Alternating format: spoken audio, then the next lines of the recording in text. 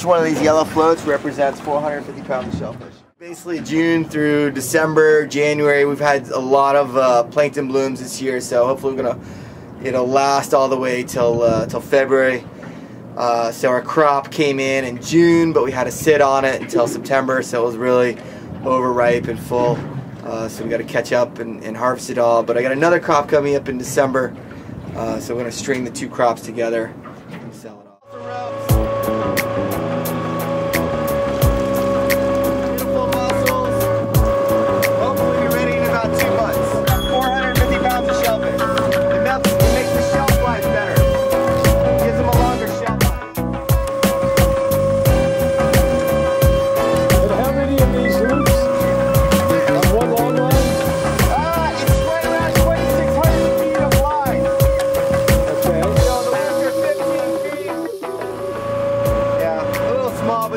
about, this is marketable. So firmly attached, they don't shake off.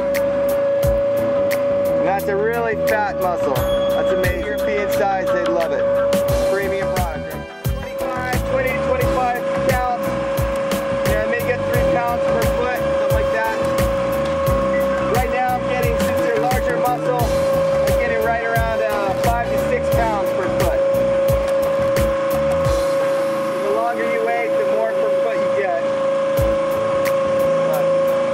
Nice. It doesn't cost you any more for the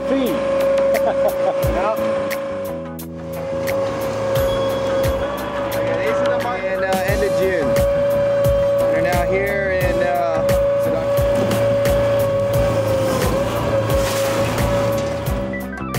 oysters to 400 oysters on a deck like that.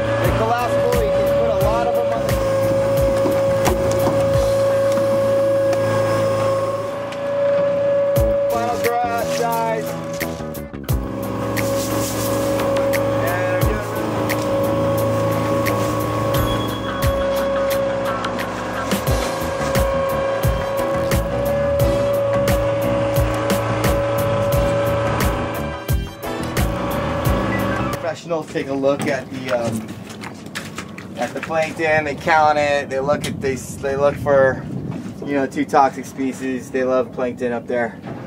Uh, but I'll take a look at it as well. I mean, I know my toxic species. When I first started, uh, I talked to all the experts, fish and game, a lot of scientists, and uh, uh, even fishermen. You know, everyone was very skeptical, and is still skeptical uh, that it working. But uh, um, you know, I invested all my own money and my time, and I started off uh, uh, little by little, just with one long line, a few oysters, and and. Uh, um, had you know each success, and I, I planted more and more shellfish, and I've uh, grown the business now to you know 60,000 pounds of mussels, and uh, we're gonna hopefully do 120,000 oysters. Uh, we did 6,000 oysters last week alone, and uh, you know it all started off. I'm just you know coming out here in a kayak, testing the water quality, putting a few oysters out here, and seeing if it if anything would happen. And you know, 10 years later, here I am.